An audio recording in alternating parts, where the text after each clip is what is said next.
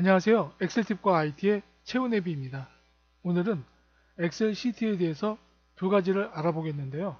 첫 번째는 여러 시트에 같은 표를 동시에 만드는 방법과 두 번째로는 여러 시트 또는 원하는 시트만 골라서 한 번에 인쇄하는 법, 이 두 가지 방법에 대해서 알아보겠습니다.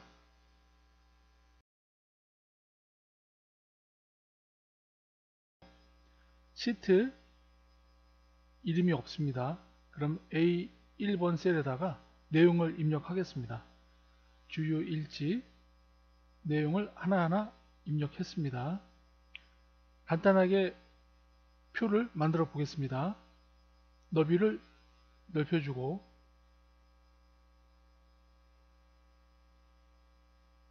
그 다음에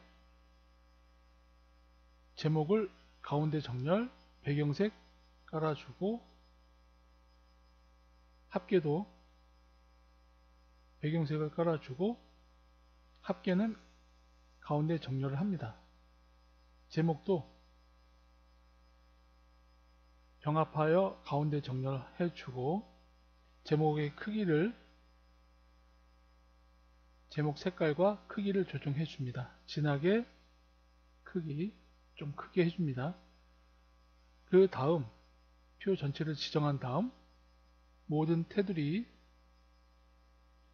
이렇게 해서 간단하게 표를 만들었습니다. 그런데 여기서 중요한 것은 시트 명을 만들어서 똑같은 시트를 여러 개 만드는 것입니다.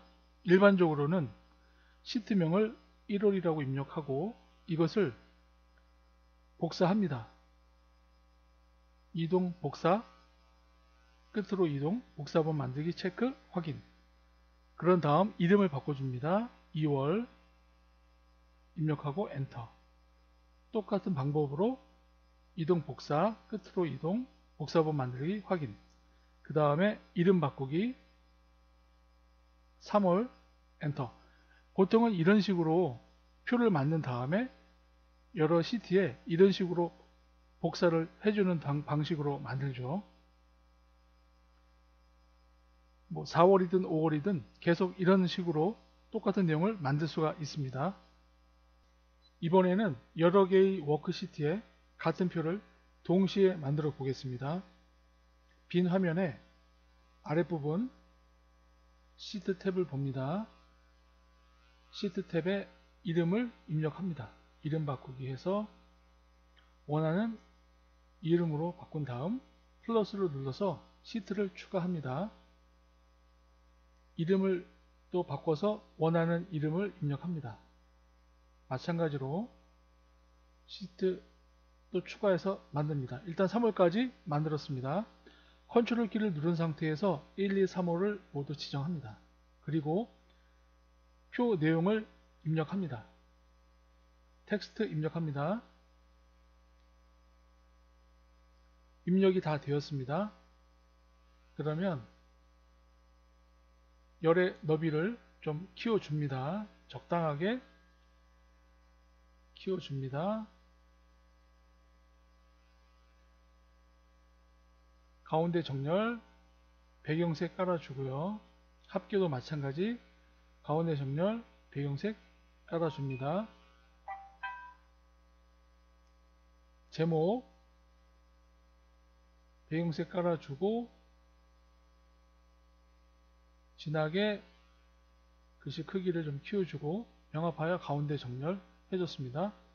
표를 모두 지정한 다음 모든 테두리 만들어줍니다. 그럼 대략 표가 완성이 되었습니다. 밑에 있는 시트 탭을 클릭합니다. 1월, 2월, 3월 세 군데의 시트 탭에 똑같은 표가 한 번에 완성이 되었습니다.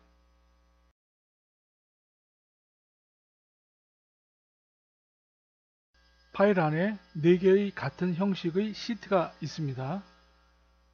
4개의 시트를 인쇄를 해 보겠습니다. 서울, 인천, 대구, 부산 형식은 같습니다. 같은 4개의 시트가 있는데요. 만약에 서울 시트만 인쇄하고 싶다면 인쇄에 들어가서 페이지 설정, 여백, 가운데 맞춤에서 가로, 확인. 가운데로 맞춰준 상태에서 인쇄를 눌러주면 됩니다. 시트 한 장은 되게 쉬운데요. 서울부터 부산까지 4개의 시트를 한 번에 자동으로 인쇄하려면 먼저 서울을 클릭한 다음 Shift 키를 누른 상태에서 끝에 있는 부산을 누릅니다. 그러면 4개가 모두 지정이 되었습니다. 이 상태에서 인수에 들어가서 미리 보기 화면이 나오면 페이지 수를 확인합니다. 4개 시트 맞습니다. 가운데 맞춤을 해줘야겠죠. 여백에서 가로 한 번만 맞춰주면 4개의 시트가 모두 가운데 맞춤이 설정이 됩니다. 그 다음에 할 일이 활성 시트 인쇄 기본으로 설정이 되어 있긴 한데 확인을 한 다음 그 다음 인쇄를 눌러주면 됩니다. 꼭 확인을 해야 됩니다. 활성 시트 인쇄 그 다음에 인쇄 누르면 4개의 시트가 처음부터 끝까지 자동으로 인쇄가 됩니다. 서울, 인천, 대구, 부산 순으로 인쇄가 됩니다. 시트를 원하는 시트만 골라서 한 번에 인쇄하려면 서울을 누르고 원하는 게 그 다음에 컨트롤 키를 누른 상태에서 대구를 눌렀습니다. 이 두 개 인쇄에 들어가서 같은 방법으로 해주면 됩니다. 가운데 설정은 페이지 설정에서 여백, 가운데 맞춤, 가로 해주면 되고요. 자동으로 두 개가 가운데 설정이 되고 활성 시트 인쇄를 꼭 확인하고 인쇄를 누르면 서울과 대구, 서울, 그 다음에 대구 두 시트가 한 번에 인쇄가 됩니다. 오늘 내용이 마음에 드셨다면 구독과 좋아요 부탁드리겠습니다.